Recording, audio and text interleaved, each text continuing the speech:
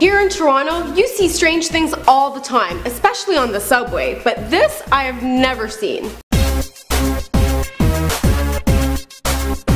Two videos have been posted to Facebook by one passenger on a subway ride in Edmonton. The first video shows this young woman sitting on the subway. She's pulling at her shirt and necklace, her eyes are closed, then she grabs her necklace and tosses it aside before she calms down again.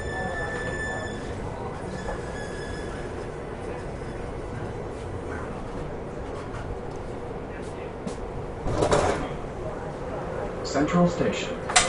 Pretty creepy to see this kind of thing right in front of you on the subway, so this passenger kept on filming. In the second video, it shows the woman again going in her bag and suddenly she arches her head, puts her hands to her hair, and growls. She then quickly grabs the throat of the male passenger sitting next to her and punches him. Whoa. Whoa, whoa, whoa, whoa, chill, chill, chill, chill, chill. Chill, whoa.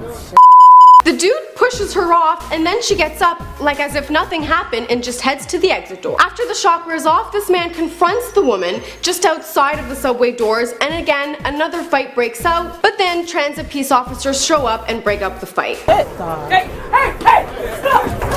Oh, oh oh. Nah, I'm clear that, boys. Sit down. Sit down. Everyone sit down. What the f? Both the man and the woman were issued a $500 fine for fighting in public, but there will be no investigation held. So what do you guys think was up with her? Was she on drugs? Does she have some mental health issues or something? Or do you in fact think she was possessed? Or is this a hoax? Just a promo for an upcoming movie again? Last week I did a video on a guy being dragged down the hallway by a demonic presence. So maybe we'll be seeing a new big blockbuster movie come out now. Next will be White Walker sightings.